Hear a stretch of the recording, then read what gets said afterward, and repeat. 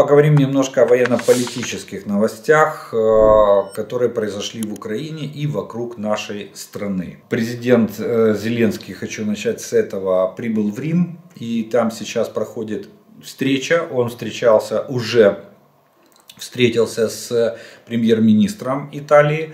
Она, она, она сделала заявление после встречи, что Италия э, остается на стороне Украины будет всесторонне помогать, и э, победа Украины это будет победа все, всего Европейского Союза. То есть высказала всестороннюю поддержку и готовность Италии помогать Украине столько, сколько надо будет.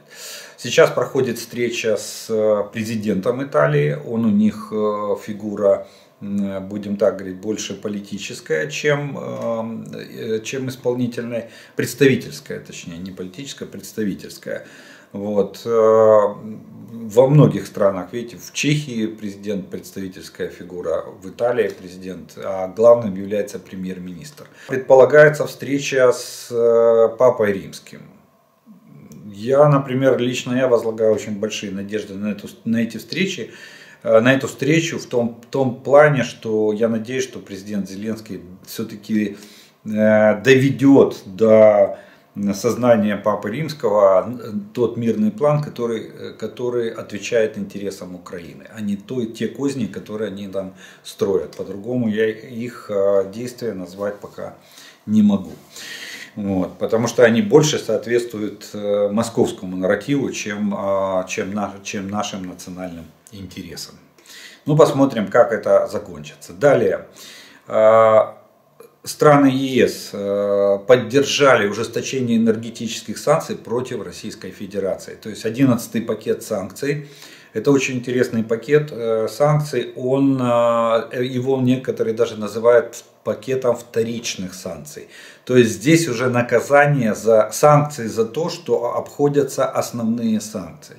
Это может коснуться и тех стран, которые сегодня помогают Российской Федерации по серым и черным схемам закупать необходимые ей товары, товары двойного назначения, товары военного назначения и так далее. Я вам приводил пример, там лидерами является Армения, которая увеличивает, увеличивает там покупку чипов на, или элементов с микрочипами в 500 раз. Зачем Армении? Куда, куда этих столько чипов девать? Понятно, что это в Российскую Федерацию поставляют. Казахстан там на 200% увеличивает тоже закупки различных товаров военного назначения. Грузия этим тоже э, немного тоже увеличивает э, закупки. Кстати, была, я приводил вот эти цифры э, по данным финансовой разведки кто, кто, кто насколько увеличил закупок, каких закупок. Это то, что предположительно потом все курсирует в Российскую Федерацию. Так вот, 11 пакет санкций предназначен именно для борьбы вот с такими серыми схемами по обходу э, санкций, введенных ранее Европейским Союзом. Кстати, обратите внимание, что новость как звучит, что Европейский Союз все поддержали, в том числе и Венгрия проголосовала за ужесточение энергетических санкций против Российской Федерации. Видите, как говорится, дружба дружба, а кости врозь. И своя рубашка ближе к телу. Когда касается вопроса финансирования Венгрии из бюджета Евросоюза, то э, ее премьер-министр Венгрии Виктор Орбан голосует единогласно за санкции против Российской Федерации и против тех, кто пытается обойти санкции, э, выдвинутые против Российской Федерации, против страны-агрессора. Вот такая вот, вот такая, вот что знаю, вот такая вот политика двойных стандартов у венгерского премьера. Э, интересно, как он будет глаза Путину смотреть. Не стыдно ему будет. Вот. США, Соединенные Штаты готовы помочь вооруженным силам Украины необходимым вооружением, которого не хватает для контрнаступления, заявил государственный секретарь США Энтони Блинкен, если такой запрос будет. А, он также а, принял решение Лондона, а, ну, поддержал, точнее, решение Лондона поставить э, нам дальнобойные ракеты, имеется, речь идет о ракетах Storm Shadow, и а, он, Блинкен сказал, что Соединенных Штатах уверены, что это отвечает потребностям Украины. Речь идет о том, что если нам не хватает чего-то или там э, каких-то видов вооружения или боеприпасов для контрнаступления, Соединенные Штаты готовы в любой момент это все поставить. То есть э, пока идет накопление материальных ресурсов, пока идет на формирование группировки войск для контрнаступательной операции, вот, США подтверждает свою готовность при необходимости поставить нам дополнительно по запросу в кратчайшие сроки необходимое вооружение и технику, если таковой запрос а, будет. Кстати, по поводу ракет Storm Shadow скажу так, что они не только пришли в Украину, они уже были применены. И э, второй день подряд, э, вчера и сегодня с утра, в Луганске на военных объектах, это Э, места дислокации личного состава. Это ремонтный завод, который является как ремонтной базой, так и перевалочной базой для российского вооружения и нефтебаза. Три объекта, которые уже были поражены именно ракетами Storm Shadow. Э, прекрасно они преодолели. Никто даже не понял с российской стороны, как ракеты оказались в Луганске. И, кстати, Луганск теперь тоже звучат сирены воздушной тревоги. Работает ПВО, правда непонятно почем и куда. Вот. Э, у этих ракет есть особенность в полете, поэтому ПВО для них э, очень, очень проблематично применять. Вот. Так что вот так вот, э, вот такие вот э, новости согласно того, что у нас появилось дальнобойное вооружение. Причем дальность там 560, я уже вам говорил, ТТХ, и головная часть 460 килограмм. В чистом виде тротила около 400 килограмм. Довольно хорошая, э, мощная ракета.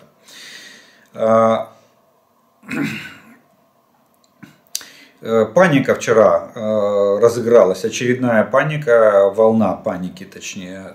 Очень радуют такие новости, что э, причем ее провоцируют сами военкоры российские в своих телеграм-каналах, блогах и других средствах массовой информации.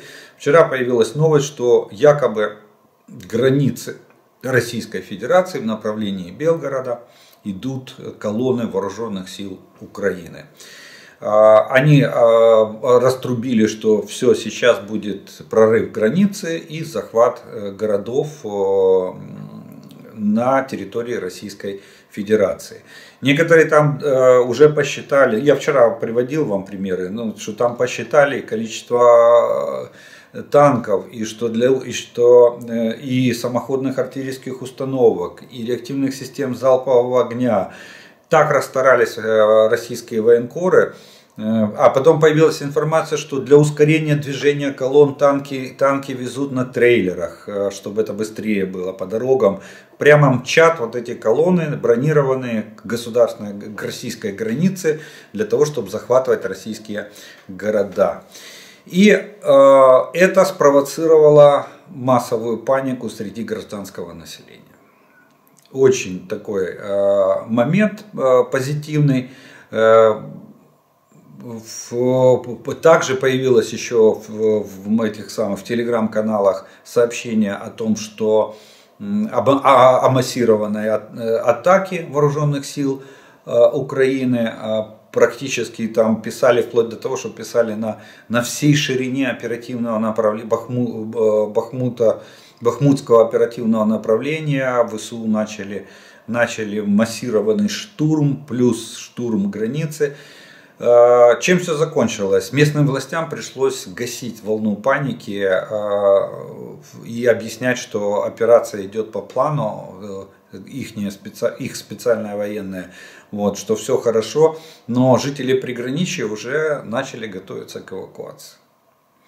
Вот, такая, вот, такая, вот так вот они сами, э, сами сыграли в информационно-психологическую спецоперацию. Э, ну, скажем спасибо, молодцы, давайте, продолжайте в том же, в том же духе. Вот. А как оказалось на деле, никто никуда не ехал, никто никуда не двигался. Единственное, что в районе Бахмута, да, происходит, э, как сказала наша командование, мы ведем, ведем активную оборонительную операцию. И она имеет успех. Далее Бельгия выделяет нам еще дополнительные средства на, а, в поддержку нашей страны. Это 92 миллиона евро. А, это очень интересная новость. Она, тут в этой новости прекрасно все. Я вам сейчас ее зачитаю и прокомментирую. Бельгия направит в поддержку Украины 92 миллиона евро, полученных, внимание, в виде части налогов на прибыль от замороженных в Бельгии а, 250 миллиардов активов Российской Федерации. Улавливаете, в чем смысл? А, смысл в том, это очень хорошая тенденция. И я так думаю, что она очень было бы неплохо ее распространить на, для других стран. Раз э, э, прецедент есть, и, и я так думаю, что его примут теперь на вооружение. Смотрите, Бельгия заморозила российских активов на сумму 250 миллиардов. И правительство Бельгии не держит эти деньги в замороженном виде, а получает с них прибыль. И вот эта прибыль, процентная надбавка, за, видимо, за использование этих средств в виде 92 миллионов евро, полученная там за какой-то период, не знаю, там не указывается это за, пол, за месяц или за несколько месяцев, они эти деньги перечисляют в фонд восстановления Украины. То есть они отдают их нам в качестве поддержки. Пока решается вопрос а, по конфискации этих активов, их реализации и передаче денежных средств, опять же, на Украине в качестве выплаты репараций со стороны России и а, восстановления, восстановления нашей страны. Так что, так что, видите, замороженные средства не, не лежат. Говорят, деньги, деньги не лежат в банке мертвым капиталом. А, они, они работают. Но работают уже не на пользу Российской Федерации. Для России эти суммы, эти активы заморожены. Далее. Э, Кипр и Мальта. Тоже еще одна очень новость. Она имеет тоже хорошую тенденцию, так как и предыдущая. Э, есть такие государства, как Кипр и Мальта. Они э, больше всех и, наверное, наверное, активнее всех они проводили такую политику золотого паспорта. То есть надо было внести какую-то сумму денег э, в пользу э, страны. Ну, вот, по-моему, если я не ошибаюсь, на Кипре 500 тысяч евро надо было э, внести, и ты получаешь паспорт гражданина Кипра. То есть фактически покупаешь гражданство. Так вот, так называемые золотые паспорта их называли. Кипр и Мальта.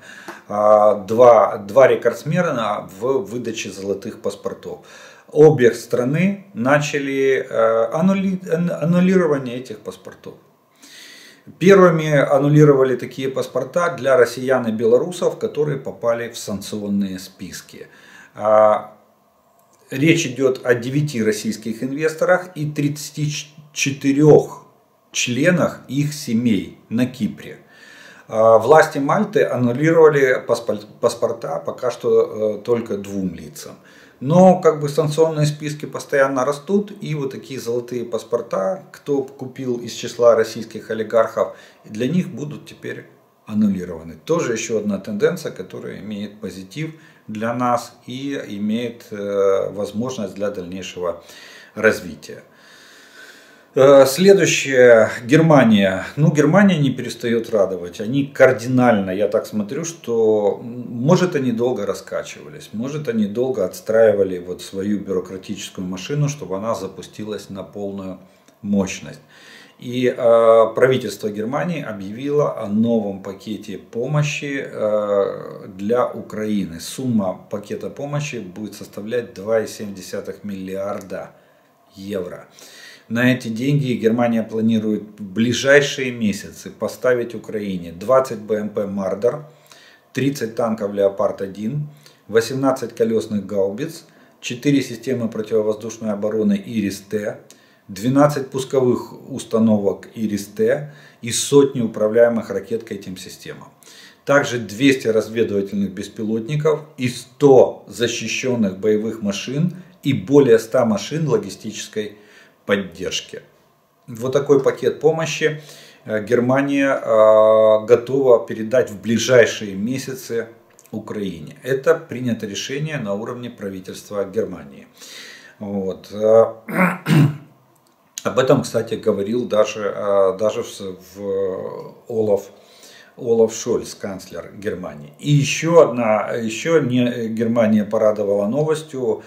Rain Metal, компания, которая, которая производит танки, но она не только танки производит, э, ну, военный, будем так говорить, военный гигант немецкий, э, э, строитель вооружения заключил уже, заключил, раньше это были разговоры и намерения, декларация намерений, теперь это уже легло в первый договор между Рейнс Метал и Укроборонпромом, заключен договор о совместном производстве вооружений. Причем это будет комплексное вооружение. Это будут танки, это будут системы противовоздушной обороны и это будут боеприпасы. Германия готова на наш, э, в Украине строить заводы и совместно с нами производить вооружение. Вот такой вот э, вот, такой, вот такая вот э, немцы начали вот выдавать на гора такие, такие вот новости полностью поменяв. Помните, да, первый, кто больше всех сомневался в поставках вооружения, ровно год прошел. Вот буквально мы недавно отмечали первую годовщину первого заседания в формате Рамштайн, и Германия была чуть ли не одним из главных э, скептиков э, э, передачи нам вооружений. Долго не решались они передать нам танки, Долго не решались они нам перед этим передать самоходные артиллерийские установки, артиллерию, скажем так. Вспомните, какой был, какой, какие были у нас ожидания и сколько было дебатов по поводу передачи нам комплекса Ирис-Т, которого даже нет на вооружении сегодня Бундесвера. Он числится, ну, в смысле, на, на вооружение принят, но в, в составе Бундесвера нет ни одного еще комплекса. А у нас уже их два защищает наше небо. Еще четыре, видите, готовы передать нам а, в ближайшие месяцы. Так что вот такая вот. И ну, уже добьем тогда военно-промышленный комплекс международный, Швейцария. Швейцария, которая, э, ну, наверное, уже столетней историей нейтральности своей может похвастаться. После, по-моему, после Первой мировой войны Швейцария вообще нигде не, не, не участвовала. Вот. И помните, да, сколько было сейчас э, таких, я бы сказал, казусов, неприятных для нас казусов, когда швейцарское вооружение или элементы в системах вооружения, произведенные в Швейцарии, не позволяли а, странам-обладателям этого вооружения передать его нам, третьей стороне. Швейцария категорично отказывалась и буквально еще пару недель назад была новость о том, что представитель правительства Швейцарии говорил нам а, а, представительница Швейцарии в ООН сказала, что мы не можем, у нас законодательство, у нас э, конституция говорит, что мы нейтральная страна, поэтому мы никому никакого вооружения поставлять не будем. Ага. Вот Швейцария дает зеленый свет на поставку оружия в Украину. Они приняли две палаты парламента и Национальный совет Швейцарии проголосовали за внесение поправок в закон, что позволит в будущем поставлять военную технику в Украину. То есть даже Швейцария при всех ее ну, принципах нейтральности поняли, что с Российской Федерацией э, российский фаши, э, фашизм надо, расизм надо останавливать, иначе это будет беда. Так что э, ждем теперь боеприпасы швейцарских гепардам, с автоматическим установлением дальности подрыва, который производит Швейцария. И немцы не могли их передать ранее нам. Теперь, я надеюсь, они приедут и на, и на наши гепарды будут стрелять швейцарскими э, снарядами по, опять же, российским воздушным целям. Ну и пасашок, вишенка на торте сегодня по военно-политическим новостям, это а, заявление Пригожина не, ну, такое впечатление, что э, Пригожин решил сыграть э, в 1905 год. Точнее, не 900, а 917 год. Он пошел по пути, ну, все читают, все знают, да, вот эти вот перипетии, война, словесная война Пригожина с Министерством обороны Российской Федерации, там обкладывание трехэтажными матами Шойгу, Герасимова, там Путина обозвал дедом маразматиком там, и прочими, прочими словами. Но Тут, э, кстати, появились, э, появились в разных э, социальных сетях появились сообщения о том, что якобы у Пригожина появляются спонсоры, которые готовы финансировать его предвыборную кампанию в 2024 году на пост президента России. Я, я не верю в это, я думаю, что это опять же продолжение пиар-акции, может быть. Хотя опять же, умом Россию не понять. Так вот, что же заявил Пригожин? Пригожин фактически призвал э, мобилизованных к бунту.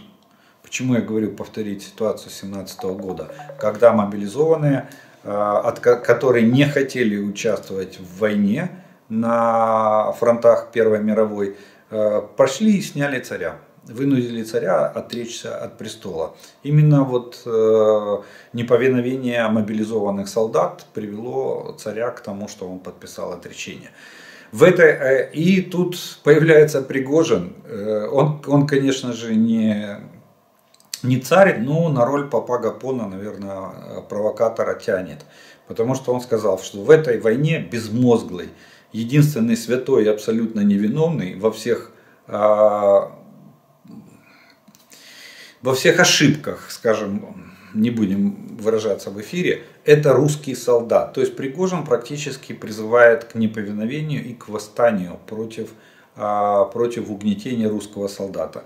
Главарь, главарь вот этого незаконно вооруженного формирования под названием Вагнер практически прямым текстом призывает российский солдат к бунту против командования.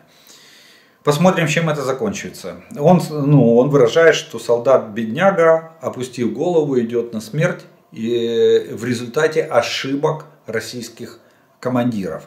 А, и Пригожин призывает солдата поднять голову, посмотреть вокруг и навести порядок. Вот такой вот военно-политическая обстановка сложилась в мире, в Украине и на фронтах а, за прошедшие сутки.